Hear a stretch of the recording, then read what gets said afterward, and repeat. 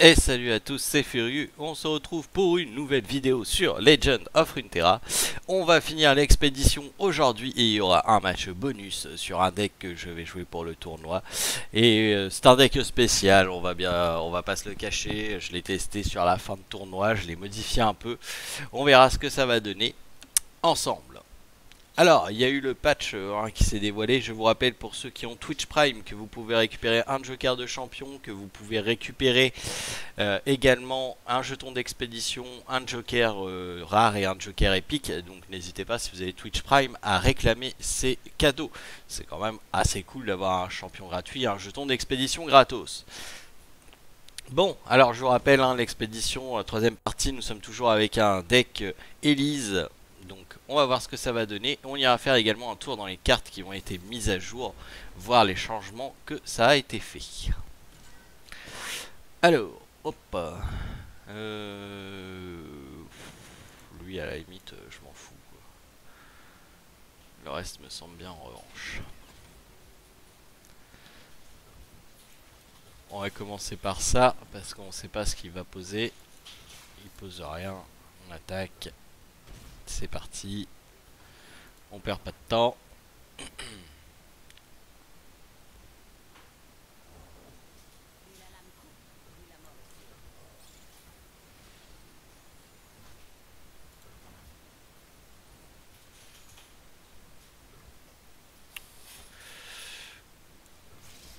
On attaque. Tac, tac, hop. Si tu bloques pas mon gamin, tu vas avoir du mal. Hein. Euh, non. Plutôt poser ça. Parce que sinon il va m'agripper ça et je vais être dans le caca. on va garder les deux pour poser le lien fraternel plus tard. Voilà, donc il agrippe ma 2. Hein, ok.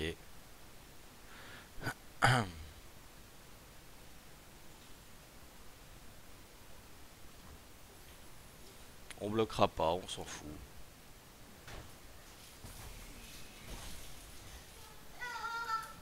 On va jouer ce petit araignée. Et ensuite, on jouera celui-ci.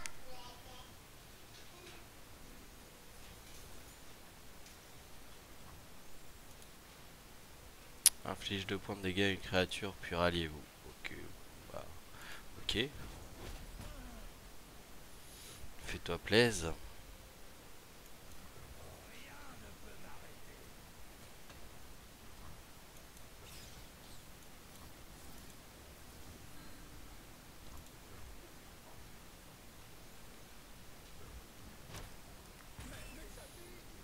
Serait-ce que ça serait déjà fini?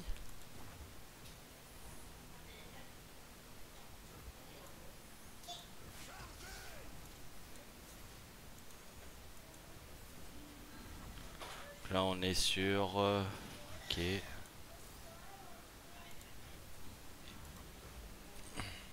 Voilà.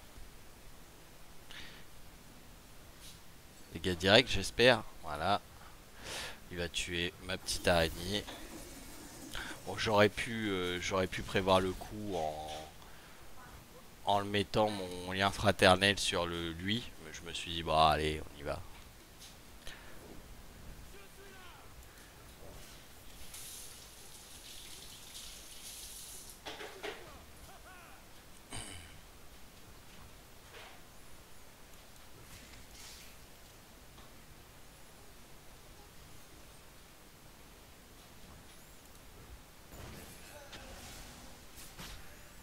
c'est pas grave, hein. là il, a perdu, il le sait juste pas encore.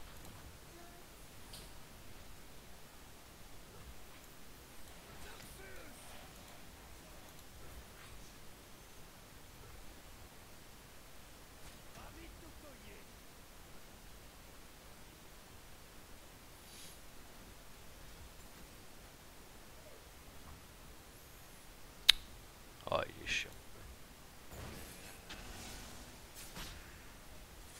deux fois qu'il me fait le coup là.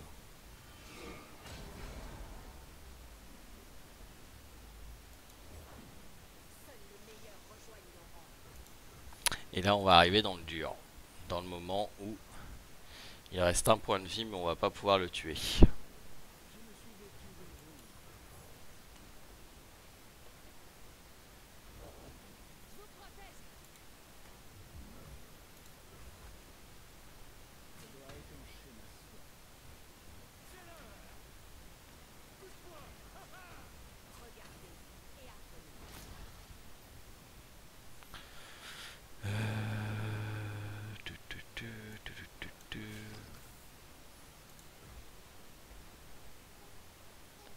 ça va faire très très mal.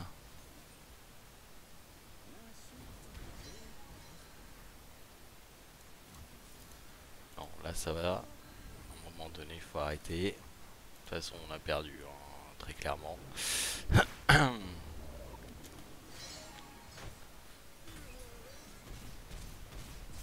ça s'est joué à rien. Bon.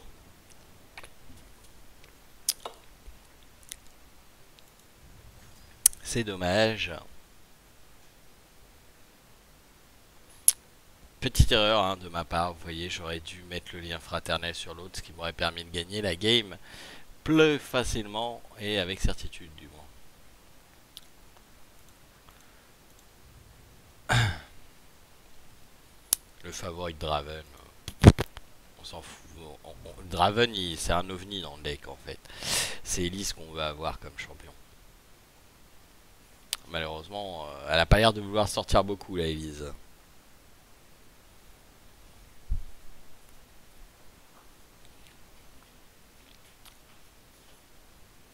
On va espérer qu'elle sorte un peu plus. Bon, là, faut la gagner, celle-là, sinon on est éliminé. Bon, on aura déjà 5 victoires, ce sera déjà pas mal. Ouf, ça va être compliqué. Hein, deck Jinx, Karma, ça va être très dur. là clairement on vire tout ça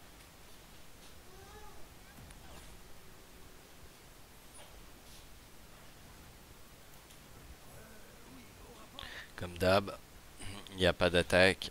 On pose le gros 3-2 comme ça on peut attaquer direct avec lui. Hop.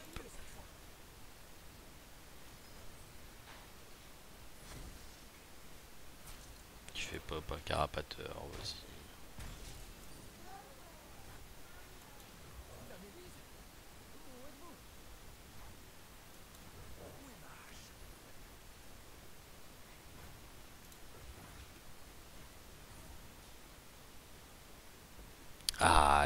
qui.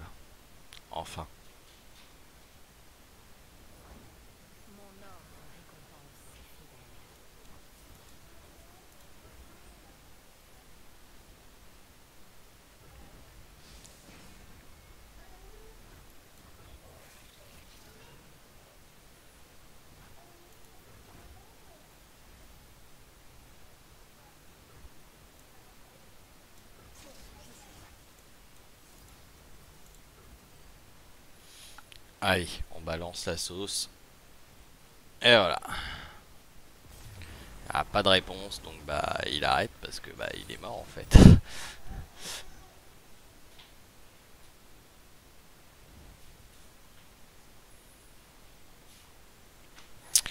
Bon, on sera pas éliminé là, on va pouvoir se tenter le septième match, le match de tous les dangers.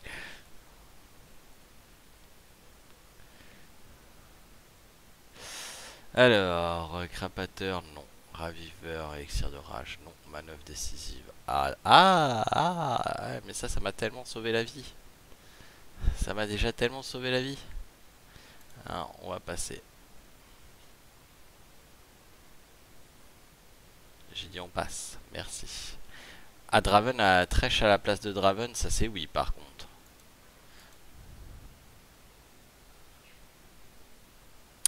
Mieux encore. Darius à la place de euh, de Trèche, je prends. Euh, ça, non, ça, non. Euh, ça. Et enfin, non. Non. Ah, par contre, oui. Bon, voilà, quelques changements en plus, quelques araignées en plus dans le deck. On n'a qu'une chance, c'est la victoire ou la défaite. Le Darius qui vient remplacer Draven, ça par contre c'est une très très bonne chose. Dans un deck rush, Darius est très très fort.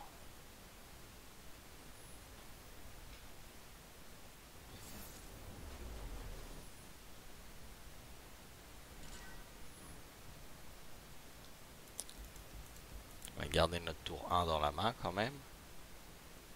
Ouais, Elise. l'araignée frénétique. On est pas mal, on est pas mal.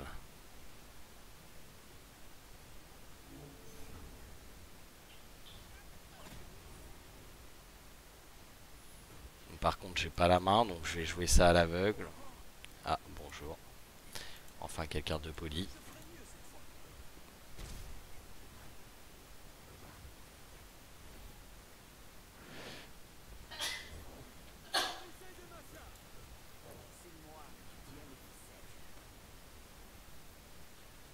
Bon, non. Vas-y, inflige-moi deux points de dégâts. Hmm. Là, on prend pas de guess. On y va. Et on va voir ce qu'il va Ok. Il renforce pour tuer la Elise. Dans ces cas-ci, nous allons faire ça.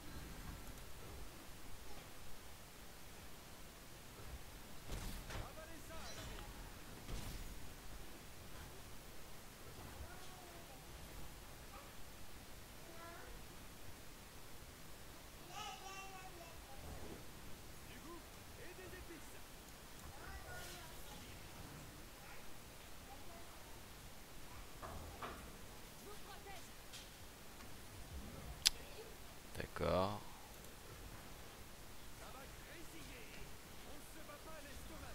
Ok.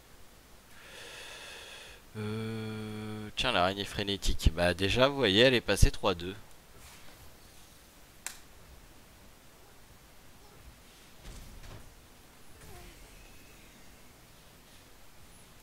L'araignée frénétique est passée 3-2.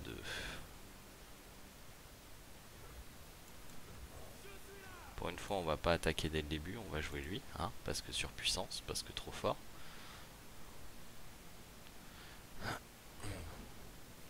Le Garen.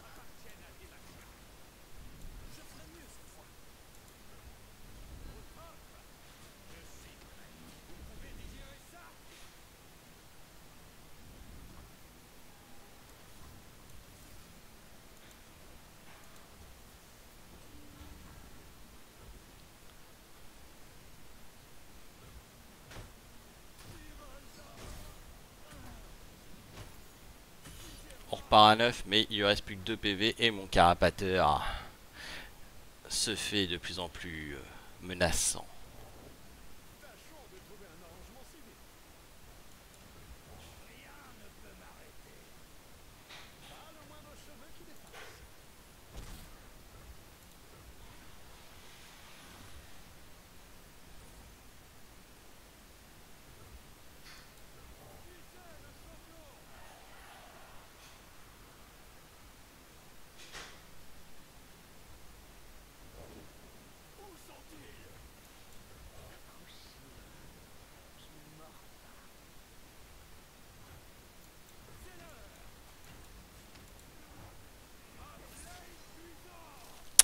Je vois mal comment il va s'en sortir. Je pense que c'est une victoire de canard.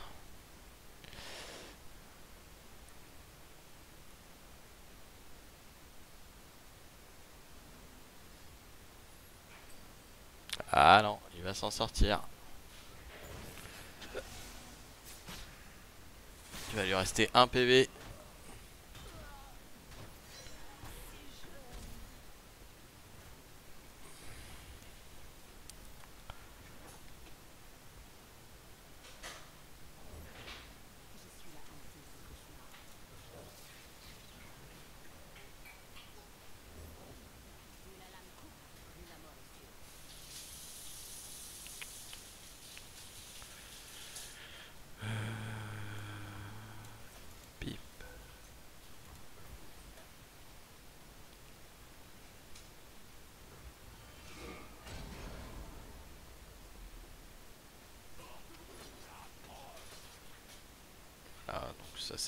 visible.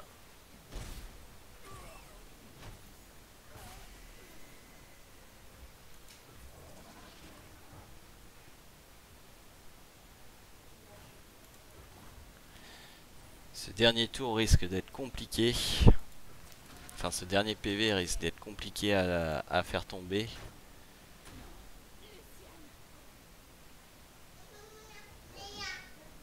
Oh là là là là là. Faire tomber.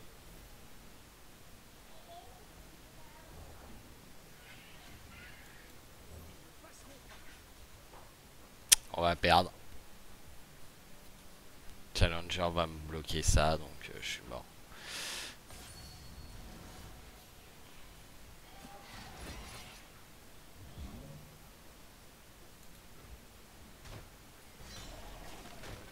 Elle est horrible cette carte.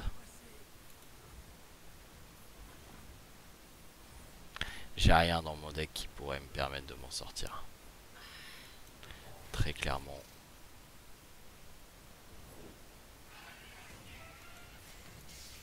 Encore un point de vie. Hein.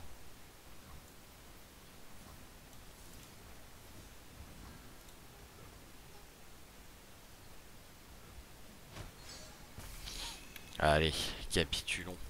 Il ne sert à rien de faire durer l'attente. Bon, on aura fait 3 victoires quand même. Enfin, 6 victoires quand même. Donc, euh, c'est pas mal. On est bien quand même. Hein. C'est un très bon score.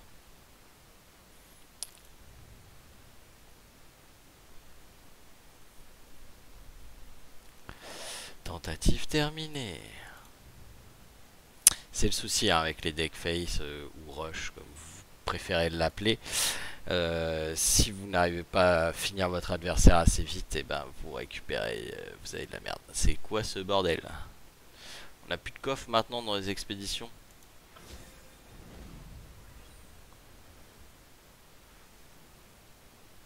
Ok. Waouh, c'est devenu de la merde des expéditions, sérieux. Ah, c'est nul, hein. Ah mon dieu.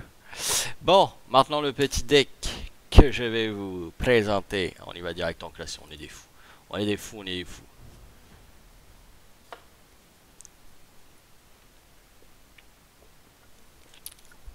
De toute façon, je pense que la saison de classé va se finir avec l'arrivée du jeu. Donc on verra, mais je pense que là, on est sur la fin de la saison.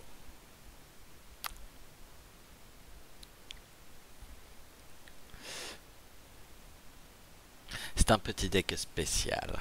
Pour le fun, pour le beau jeu.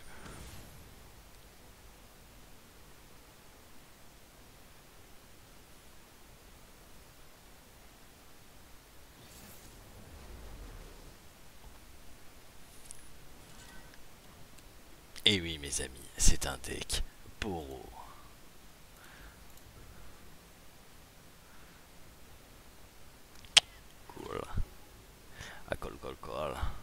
Ouais, mon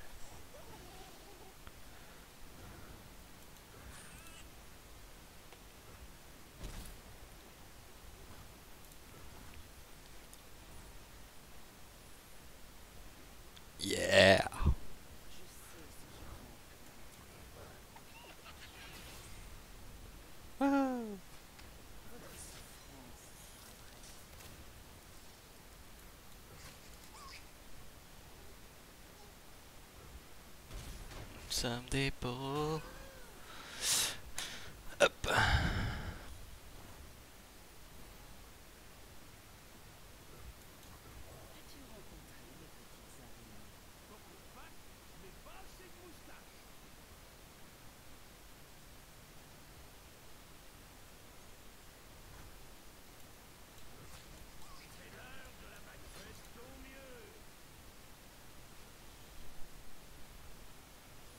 Toujours plus de paroles.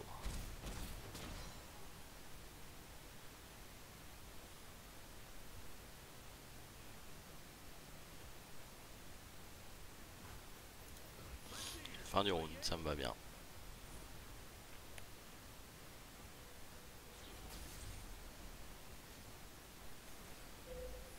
L'éclosion mortelle. Faire évoluer sa lise.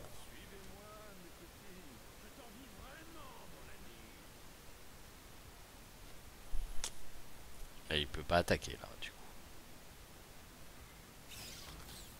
What? Ça c'est space.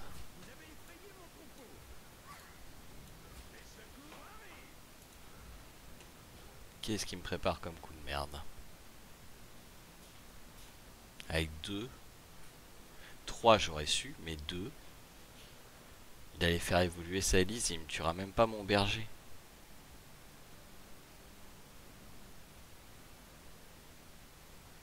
C'est bizarre ça. Ouais, mais il va tuer mon berger, mais à la limite ça je m'en fous. Je pourrais même le sauver si je veux. Est-ce que je le veux Ah bah oui, parce que sinon... Euh,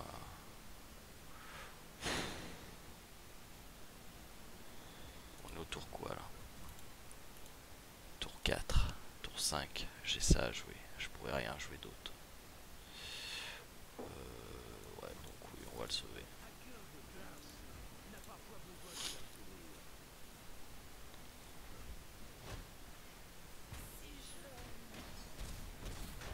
Je trouve ça très bizarre comme... euh, comme euh, truc. C'est space. C'est très space.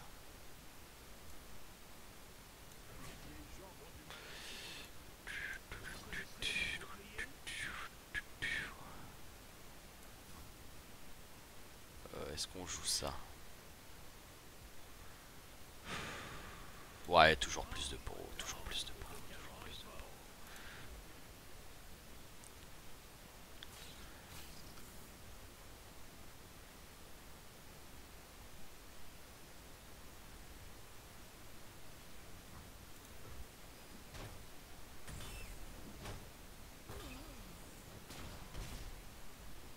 Ah sensible à une lance noire par contre.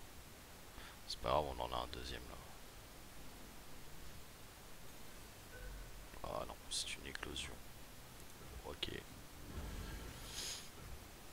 Deck versus deck. Qui va gagner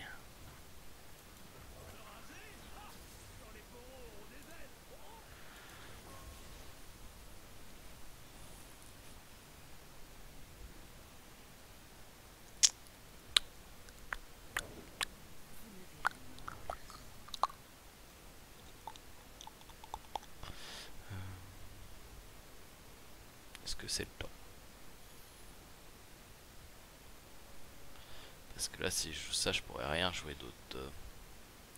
Tandis que si je joue ça, je vais pouvoir lui bloquer ses araignées. Parce que 3, 5, ouais, et puis il peut encore jouer. Non, c'est pas le temps de jouer ça. C'est le temps de jouer ça.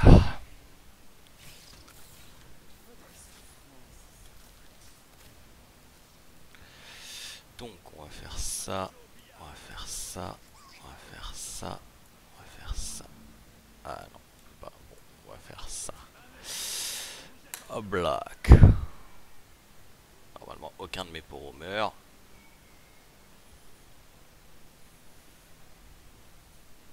C'est important pour ça.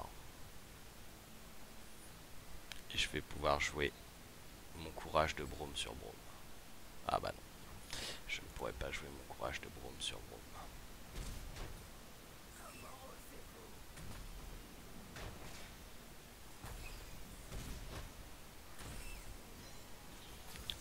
Euh, bah, écoute, ce qu'on va faire, c'est ça.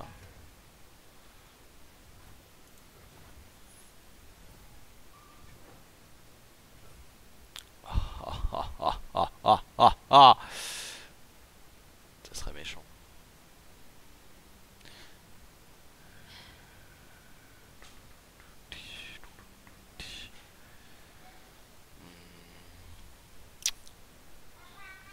On va attaquer avec ça, on va attaquer avec ça.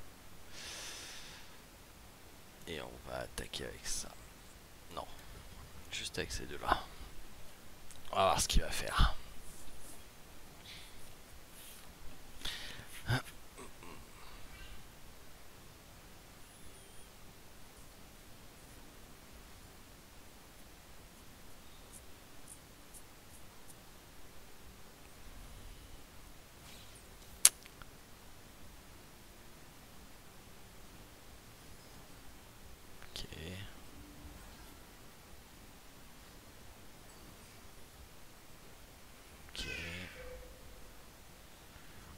Ok.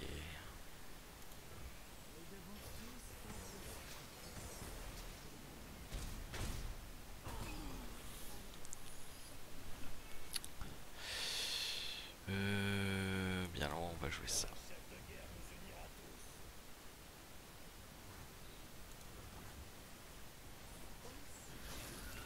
Ça, Elise a évolué.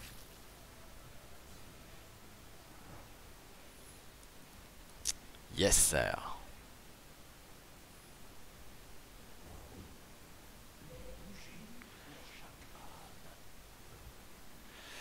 Bon, je pense que c'est le temps de, de faire ça.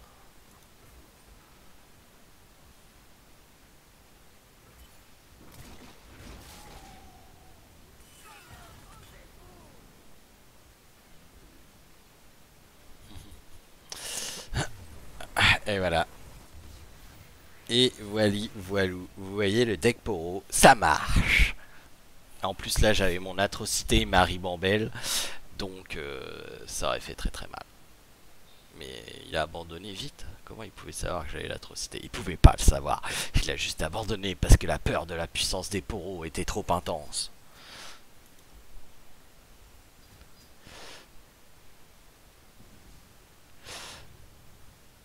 jamais sous-estimer un poro. On va aller récupérer la petite récompense.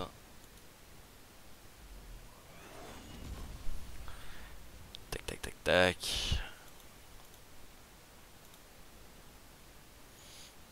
Tac, tac, tac.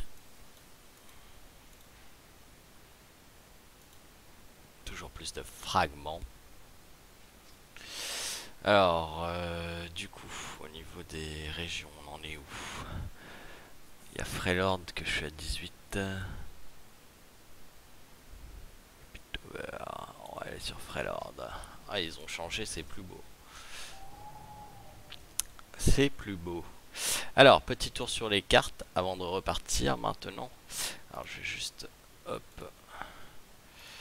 Donc on a vu hein, déjà l'araignée frénétique qui s'est pris, euh, qui s'est pris un, un debuff.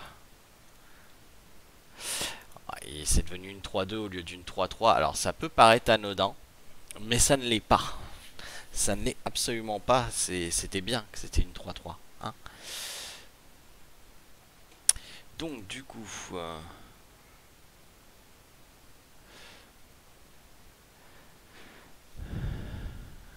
du coup, ce qui a changé au niveau du coffre-fort, c'est assez important. Les coffres de niveau 2 et plus contiennent désormais un jeton d'expédition. Avant, il fallait que ça soit niveau 10. Donc là, c'est bien, ça va être plus pour les casus, parce que même moi, des fois, j'avais pas de jeton. Les coffres de niveau 5 et plus contiennent désormais une carte de champion aléatoire. Donc il faudra au minimum aller au niveau 5, mais le niveau 10 est plus intéressant parce qu'il contient désormais un joker de champion. Donc euh, c'est quand même assez intéressant. Il faudrait aller niveau 10 toutes les semaines. Et une fois niveau 13, on peut désormais remporter des capsules supplémentaires tous les 4500 points gagnés et ce à l'infini. Chaque capsule contient au moins 3 cartes rares et 2 cartes communes. Et chaque récompense a une chance d'être améliorée, capsule y compris. Donc vraiment, c'est du lourd. C'est du lourd, il faut au moins aller dans, dans le chapitre 10 enfin le, niveau 10 qui, euh, qui, correspond à 13 000 XP pour pouvoir avoir euh, votre, votre joker de champion plutôt qu'un un champion aléatoire. les XP de victoire, je vous laisse, euh, je vous laisse vérifier. Une chose moins bien, une chose moins bien pour moi, c'est que maintenant les achats de cartes, les jokers sont illimités. Donc ça devient un petit peu cash play quand même. Parce que quand les cartes vont sortir, les cash players vont pouvoir acheter les cartes qu'ils veulent. Je trouvais ça bien qu'ils limitent, parce que ça permettait que ça soit vraiment pas forcément euh, cash play. Bon, après, vu les récompenses, très honnêtement, ça sera pas long que même les free-to-play vont réussir à rattraper euh, les cartes qui restent en arrière. Surtout si les free-to-play ont bien joué. Normalement, ils ont un stock conséquent. Moi, je joue quasiment pas au jeu. Je suis cash player. Hein, vous l'avez vu, j'ai un plateau Jinx, hein, inutile de le dire. Euh, je suis cash player, pourtant j'ai déjà 14 446 euh, fragments euh, de côté, donc plusieurs jokers également. Donc je vais pouvoir m'acheter mes cartes qui vont sortir et je suis loin d'avoir d'avoir joué énormément, surtout ces derniers temps avec tout ce qui est sorti. Les, expéditions, bah on a vu, hein, c'est de la merde 7 victoires, c'est une capsule épique, 2000 fragments, 2 jokers rares. 6 victoires, c'est une capsule épique, 1000 fragments, un joker rare, un joker commun. Ah, c'est nul. Honnêtement, c'est ça pue.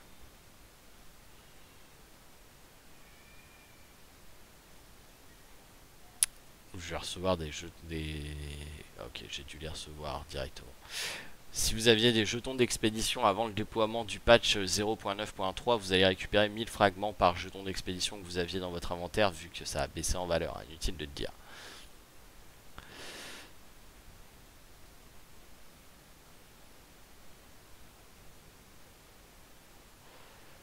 Ok, donc les, les, récompenses de nouveaux joueurs ont été aussi ajustées. Donc c'est pas mal c'est pas mal. Euh, c'est assez intéressant. On va voir. Je vais juste aller sur le site officiel pour voir les cartes maintenant. Hein, quand même. Hein. faut voir les cartes qui ont changé. On sait qu'il y a eu des changements. Note du patch 0.9.4. Ajustement des expéditions encore. Ok. Ouais. Ça, ça sert à rien. Bon, les cartes modifiées. Allons-y. On va commencer par les champions. Donc, nous avons euh, Draven qui a changé. C'est devenu une 3 une 3-3 immédiat frappe créer une hache tournoyante dans votre main. J'ai frappé deux fois avec hache tournoyante. Ok. Draven passe désormais au niveau supérieur lorsqu'il frappe avec deux haches en même temps.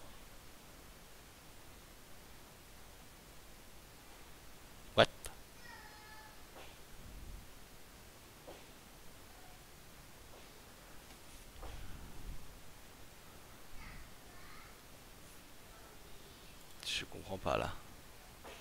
Ah, au total. D'accord, bah pas en même temps, c'est au total, hein, heureusement. Heureusement parce que c'est chaud. Hein. Alors, Katarina qui a changé aussi. Niveau supérieur, j'ai frappé une fois. Quand je passe au niveau supérieur, rappelez-moi. Maintenant, c'est immédiat. Créer une dague mortelle fugace dans votre main. Niveau supérieur, j'ai frappé une fois. Quand je passe au niveau supérieur, rappelez-moi. D'accord, donc ils l'ont rajouté. Euh, ils ont rajouté un, sort, une dague mortelle. Ouais. Ouais. Euh, honnêtement, c'est pas. Euh, en gros, vous allez avoir une dague mortelle à chaque fois que vous allez invoquer Katarina. changement, beaucoup, non. C'est pas, pas super. Ah Yasuo, il a encore pris un up. C'est... Euh, ça, ça, ça, va être euh, une 3-4.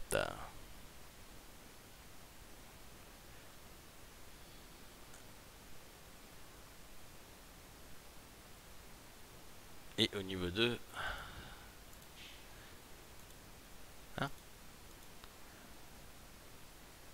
c'est devenu une 4-4 et une 5-5.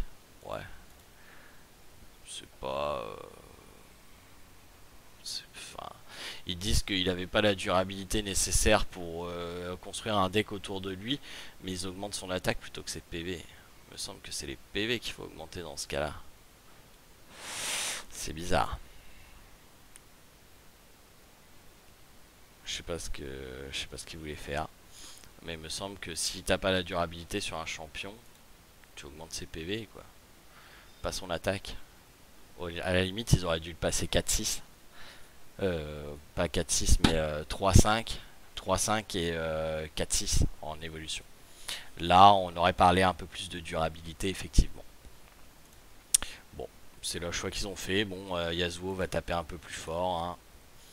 Du coup, on est sur Maintenant, Kalista qui a augmenté également, elle passe de j'ai vu 4 alliés mourir à j'ai vu 3 alliés mourir. Ouais, pas fou.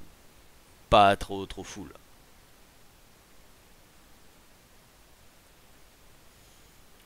Alors, on a maintenant le dueliste des Laurent qu'on a vu et c'est vrai que vu que je le joue pas, j'ai pas fait gaffe, mais effectivement il a pris un up. Ah, ah, oh, et... Tac. Dueliste, il est où? Il est ici. C'est passé d'une 3-2 à une 4-2. Voilà. C'est la seule, euh, la seule chose qui a changé. En revanche, un nerf qui va faire euh, assez mal quand même. Enfin, pour moi, il fait mal. C'est le Bannerman. Le Bannerman, maintenant, c'est plus... Lui, il ne prendra plus l'allégeance. Il ne prendra plus le plus 1, plus 1. D'accord? Donc ça, c'est très chiant. C'est tous les autres qui vont le prendre, sauf lui. C'est pas non plus un gros nerf, mais ça reste un nerf. Moi j'apprécie avoir un Bannerman 4-4 au lieu de 3-3. Maintenant, euh, bah, ça sera un 3-3. Le 100% a changé. Et ça c'est bien, ça c'est cool. Ça c'est cool pour les decks Vlad. Très très cool. Le 100% qui coûtait 3 avant, maintenant ne coûte plus que 2. Et ça, ça fait plaisir. Voilà. Parce que 3, ça faisait cher, 100%, hein, trouve. Euh, c'était trop cher. Là, c'est bien plus intéressant. Cato le bras a changé aussi. Et euh, on a vu, hein, c'est une excellente carte. Hein. Moi, c'est une carte que j'affectionne. Maintenant, je ne la joue pas énormément. Mais euh, le fait de pouvoir donner euh, surpuissance avec plus 3, plus 3 à un allié pour le tour en soutien, c'est très fort. Et il avait que 3 PV, il passe à 4 PV, ce qui est quand même un up assez intéressant. Moi, je préfère qu'il up les PV que euh, la, puissance d'attaque. Nous avons également un changement sur le trappeur Avarosan qui, avant pas très utile. Maintenant, on devient plus normal. Dans le sens que là, il récupère euh, des stats pour euh, un coup de 3. C'est-à-dire que ça devient une 3-3. Voilà, elle est là. Au lieu d'une 2-2 pour 3. Donc en plus, ça vous ajoute un effet Yeti Furieux dans les trois premières cartes. Yeti Furieux, je vous rappelle, c'est une 5-5 pour 1. Donc ça devient une carte très très forte. Ça devient une carte très très forte. L'oracle stellaire euh, il passe de 1 euh, voir trappeur à Barodon. ok. Bah c'est toujours une 2-3. C'est quoi là Ils ont fait quoi? Ils mettent trappeur. Ils disent voir trappeur à Barodon. D'accord. Ils ont dû zapper un truc je pense. Ils ont dû zapper un truc parce que c'est toujours une 2-3 pour 2. Bon, voilà, PV, euh, peut-être qu'elle était... Ah non, c'était une 2-2. Donc c'est passé une 2-3. Ok. C'était passé une 2-3. Les pierres de Warirong, que personne joue, enfin moi je les joue pas et il n'y a pas grand monde qui joue, c'est passé d'une 0-3 à une 0-4. Voilà, pas génial. Euh, l'individu louche, l'individu louche, qui était pas mal. Moi je le trouvais, euh, je trouvais assez sympathique cet individu louche. Il gagne en PV. Il passe de, euh, de 1 PV à 3 PV. Bon. Euh, c'était intéressant parce que, en fait, si vous aviez une dague mortelle en main ou un truc du genre, si jamais votre, vous faisiez votre usurpation, et ben le problème c'est qu'en réponse une dague mortelle suffisait à tuer, un choc statique suffisait à tuer, un n'importe quel dégât direct en fait le tuer. Là à 3, bah c'est simple, ça va être euh, forcément la carte de Jinx que enthousiasme, voilà, qui pourra le tuer et euh, plus les autres cartes. Et enfin bah le dernier euh, le dernier la dernière carte c'est l'araignée frénétique hein, qui passe de 3-3 à 3-2. Voilà, donc on a fait le tour des cartes. Il faut savoir qui surveille actuellement Ezreal et Karma. C'est sûr. C'est sûr. C'est chaud. C'est des cartes qui sont très fortes en tant que héros. Donc euh, voilà. Ça fait mal. Ça fait mal. Euh, Ah bah non, il y a d'autres cartes encore. Oh là là là là là là. Alors, il clarifie la situation. Ok. Bon, ça c'est bon. Ouais, donc ils ont clarifié les... Euh, les cartes. Bon, je trouve qu'ils ont clarifié char de requin. Ils ont clarifié euh, la, formation d'acier rayonnant, le lancier céleste et l'évaluatrice de la Légion Trifarian. Est-ce que c'était nécessaire? Non. Moi, pour moi, les cartes étaient claires, mais bon, bah, ils ont clarifié. Ils ont clarifié. Donc je vous laisserai, euh, je vous laisserai regarder tout ça. En tout cas, il y a du bon. Et puis euh, il y a des nouvelles cartes qui arrivent. Hein. Surveillez bien la chaîne YouTube euh, Legend of Runeterra FR. Il y a des nouveaux champions qui arrivent, des nouvelles cartes qui arrivent. On va se faire plaisir à la fin du mois. Je pense qu'on se fera un gros live lors de la sortie officielle. Et puis il va arriver sur mobile. C'est quand même magnifique. Il va arriver sur mobile, c'est quand même magnifique. Voilà. Sur ce, je vous souhaite à tous de passer une excellente fin d'après-midi, début de soirée plutôt. Et je vous dis à très bientôt pour une prochaine vidéo. Allez, salut tout le monde